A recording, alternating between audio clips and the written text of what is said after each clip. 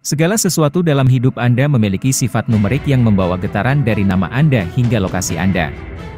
Fondasi numerik dalam hidup Anda adalah hari ulang tahun dan nama yang diberikan oleh orang tua Anda saat Anda lahir. Sumber numerik ini mengandung banyak informasi tentang takdir, kepribadian, sifat negatif dan positif, serta bakat unik yang Anda bawa ke dalam hidup ini untuk dibagikan dengan dunia. Setelah Anda memahami angka-angka ini, Anda mulai memiliki banyak pengetahuan untuk membantu Anda menemukan status Anda di dunia dan hidup berdampingan dengan diri yang lebih tinggi. Kunci untuk hidup dengan damai dan harmonis adalah dengan cara memilih teman, pasangan hidup yang setia, tempat tinggal, hobi, dan pekerjaan yang beresonansi dengan getaran numerik khas bawaan Anda. Menurut Pitagoras, dunia dibangun di atas kekuatan angka. Numerologi ini berkembang menjadi sistem divinasi dan sistem angka karena kedua sistem tersebut memiliki konsep lebih luas dalam alam semesta yang meliputi pola matematika. Semua hal dapat diungkapkan dalam angka yang sesuai dengan getaran universal.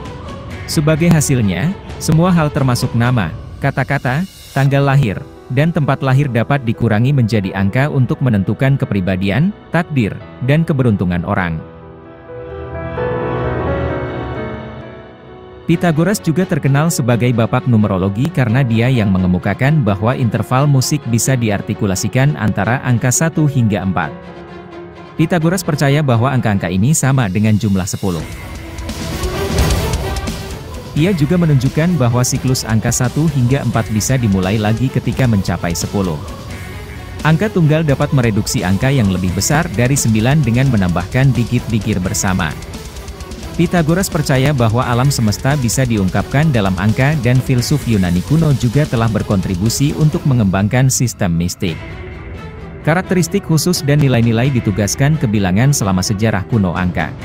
Cara orang Yunani kuno mencatat angka dalam titik-titik atau gambar geometris adalah satu mekanisme yang memungkinkan penugasan karakteristik ini. Angka ganjil yang tidak dapat dipisahkan dikatakan maskulin karena memiliki bagian yang mewakili ketegasan, kekuatan, dan kreativitas. Angka genap yang dapat dibagi dan memiliki celah dianggap feminin mewakili keseluruhan, stabilitas, atau kelemahan. Dalam mitologi Yunani, 888 mewakili pikiran yang lebih tinggi.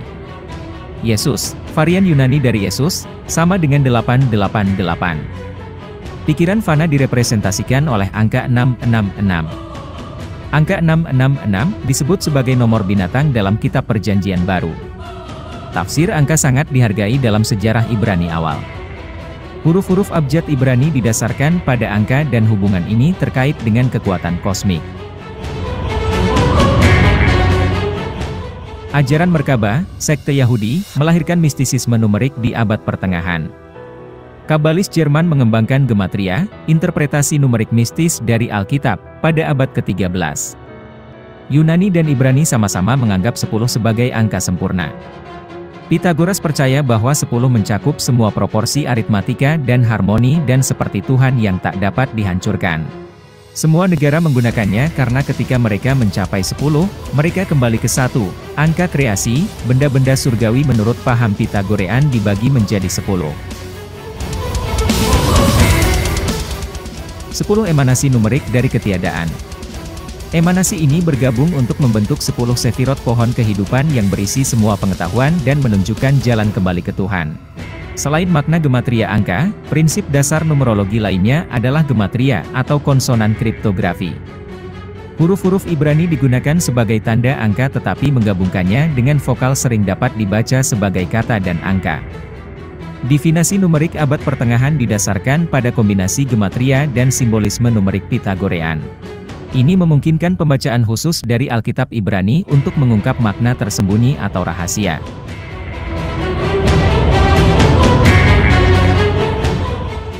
Sistem unik ini juga diterapkan pada bahasa Yunani, Latin, dan Perjanjian Baru Alkitab. Misalnya, berbagai makna dipersonifikasikan kepada angka 666, angka yang menunjukkan binatang dalam kitab Wahyu. Nero Caesar, Martin Luther, Paus Leo ke-10, dan Napoleon adalah beberapa di antaranya. Numerologi di alam gaib sering digunakan untuk menemukan makna tersembunyi dari peristiwa dan meramalkan masa depan. Ketika digunakan dengan cara ini, numerologi baru berubah menjadi bentuk ramalan atau ramalan nasib. Ini sering dikombinasikan dengan bentuk divinasi lain seperti astrologi, kartomansi, geomansi, dan interpretasi mimpi. Begitu numerologi digunakan dalam bentuk divinasi, ia menjadi magis. Teori semacam itu memiliki akar barat tapi biasanya dikaitkan dengan Pitagoras. Sistem tersebut mengajukan bahwa segala sesuatu adalah angka dan angka mempengaruhi esensi segalanya. Sebagai hasilnya, angka berfungsi sebagai jembatan antara sisi ilahiyah dan duniawi. Jadi, ketika seseorang melakukan berbagai perhitungan pada angka, hitungan tersebut memengaruhi hal-hal yang terkait dengan angka-angka tersebut. Angka adalah contoh dari prinsip ini dalam kebudayaan Amerika. Misalnya, kebanyakan orang menganggap angka 13 tidak beruntung. Sebagai hasilnya, segala sesuatu dengan angka 13 harus dihindari. Misalnya, Hari ke-13 dalam sebulan, terutama jika itu adalah Jumat tanggal 13, lantai ke-13, atau 13 tamu makan malam, dan seterusnya. Akan tetapi sebaliknya, di Belgia, mengenakan nomor 13 dianggap sebagai benda beruntung bagi wanita. Konotasi negatif angka 13 berasal dari kisah Alkitab tentang perjamuan terakhir di mana Yudas adalah rasul ke-13.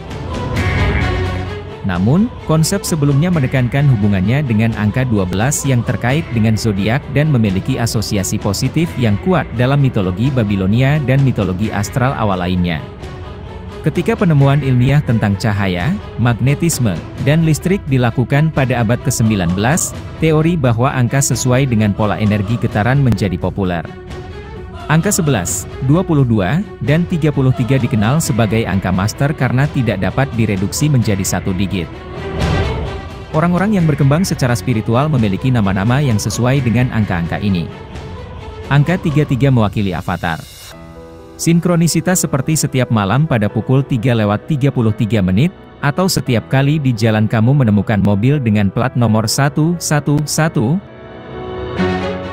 atau tiga perjalanan belanja terakhir kamu masing-masing sebesar 17, 17, 23, 23, dan 35, 35, dan seterusnya.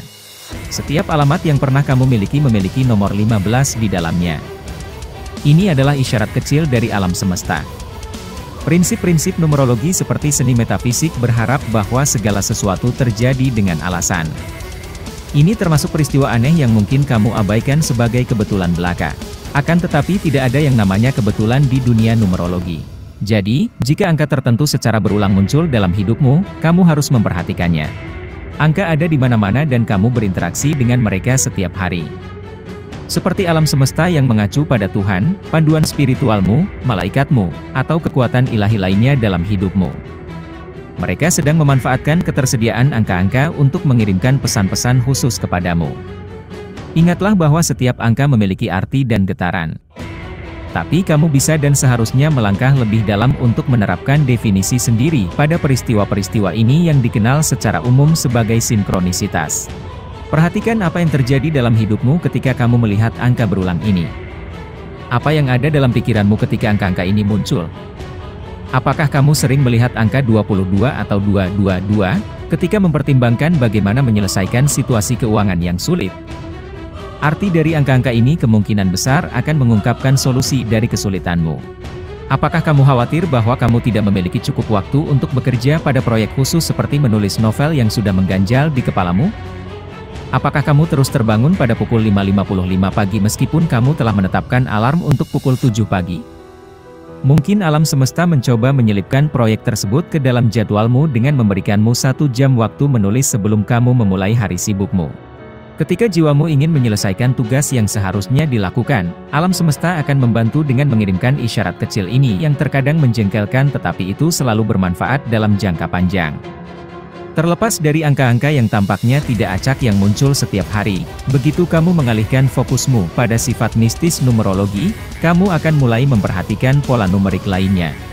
Mungkin tiga teman terdekatmu lahir di bulan November dan semuanya memiliki huruf L dalam nama pertama mereka.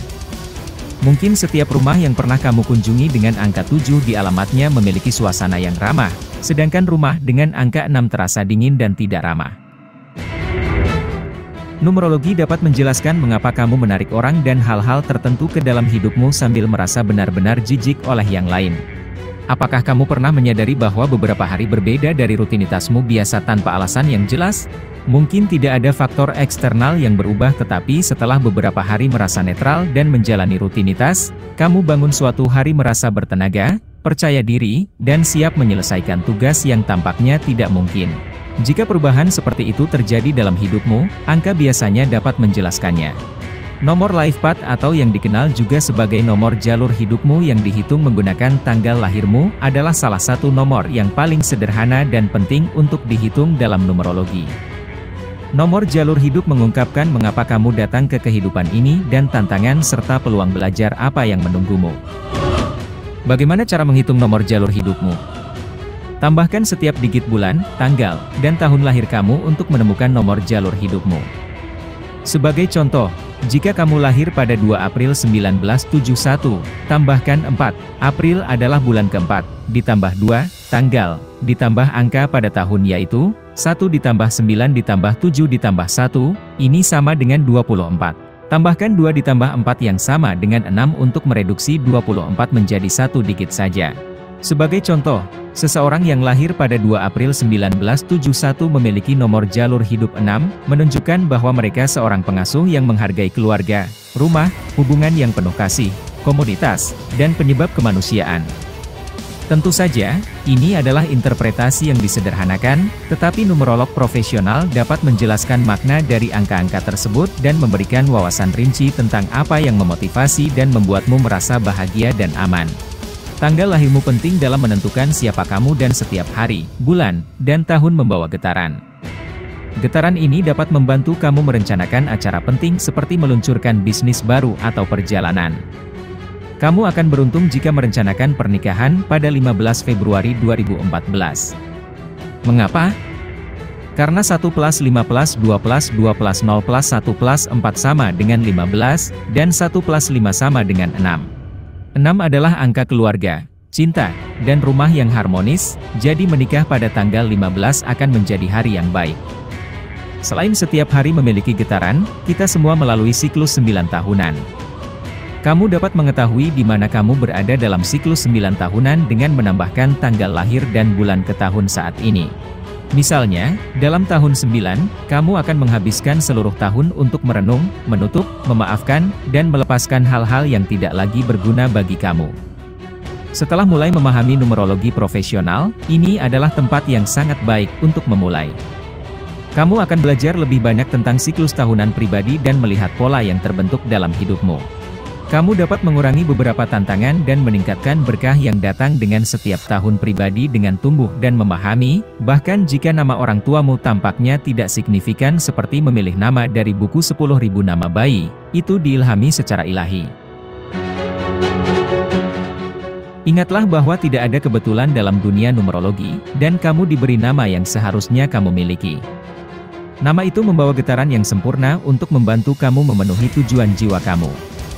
Mungkin kamu bertanya-tanya apa yang dilakukan huruf-huruf dengan angka. Mengonversi huruf dan kata menjadi angka telah lama dikenal sejak zaman Yunani kuno, Latin, dan Ibrani. Numerologi modern menggunakan sistem terjemahan langsung di mana huruf A sama dengan angka 1, B sama dengan angka 2, dan seterusnya. Ketika kamu mencapai angka 9, kamu kembali lagi ke angka 1. Nilai numerik dari nama lengkap lahir kamu mengungkapkan karakteristik kepribadian secara keseluruhan. Petunjuk lain tentang diri batin kamu bisa diperoleh dengan melihat huruf pertama dan terakhir dari nama pertamamu dan huruf konsonan dan vokal di nama kamu. Biasanya, kamu menambahkan nilai numerik dari sebuah nama atau kata. Ambil nama John Smith sebagai contoh.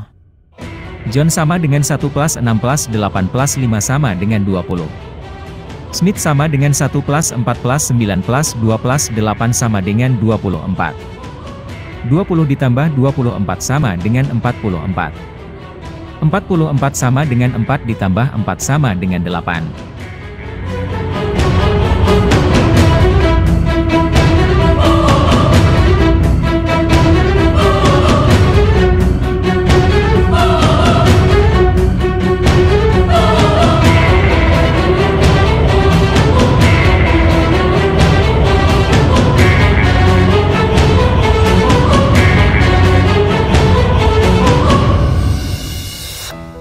Jadi, John Smith memiliki nilai numerik 8. Angka 8 memiliki karakteristik kesuksesan materi dan keadilan menurut grafik karakteristik. Ketika kamu ingin mendapatkan bacaan numerik lengkap tentang dirimu sendiri, cek tautan di deskripsi. Apa yang terjadi pada kepribadianmu ketika kamu menikah dan mendapatkan julukan, nama panggung, atau mengubah namamu? Dalam kasus-kasus ini, perubahan nama sering menjadi bagian dari pergeseran kehidupan yang organik yang mewakili perkembangan pribadi dan kemajuan positif di jalur jiwa kamu. Perubahan-perubahan ini lebih didasarkan secara spiritual. Sama seperti orang tuamu memilih namamu. Di sisi lain, jika kamu mengubah nama secara legal hanya karena jumlahnya cocok dengan kesenangan atau keberlimpahan finansial, kemungkinan besar itu akan berdampak buruk padamu karena itu tidak terjadi secara alami sebagai bagian dari pertumbuhan spiritualmu. Pernahkah kamu pergi berlibur dengan seseorang yang tampaknya memiliki pengalaman yang benar-benar berbeda darimu? Sementara temanmu dengan senang hati bersantai di pantai di Bali, kamu menderita dari terbakar matahari dan tidak tahan dengan sensasi pasir di celana renangmu.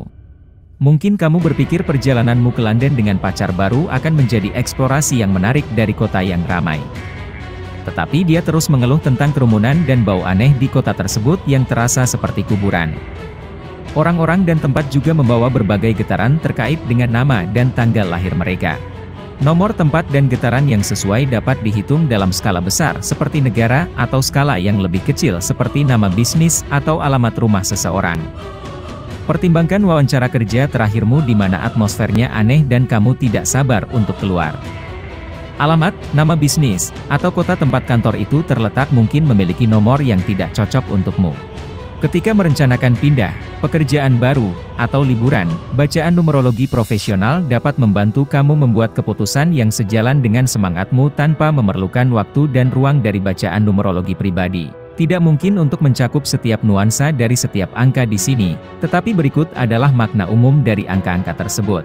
Angka satu berarti, inspirasi, awal baru, independensi, keaslian, kepemimpinan, dan inisiatif. Angka 2 berarti, kemitraan, dukungan, harmoni, kerjasama, toleransi, dan reseptivitas. Angka 3 berarti, kreativitas, pertumbuhan, optimisme, peningkatan diri, kesenangan, dan keterampilan. Angka 4 berarti, struktur, stabilitas, praktikalitas, organisasi, kerja, dan mewujudkan ide. Angka 5 berarti, kebebasan, kesenangan, gairah, perubahan, petualangan, komunikasi, dan magnetisme. Angka 6 berarti, rumah, keluarga, kasih sayang, hubungan nurturing, harmoni, kompromi, dan keandalan. Angka 7 berarti, intuisi, refleksi, mistisisme, eksentrisitas, analisis yang dalam, dan kesendirian. Angka 8 berarti, uang, kekuatan, kontrol, dominasi, bisnis, status, kepemimpinan, dan kekuatan. Angka 9 berarti, penyelesaian, kesimpulan, idealisme, belas kasihan, spiritualitas, dan pengampunan.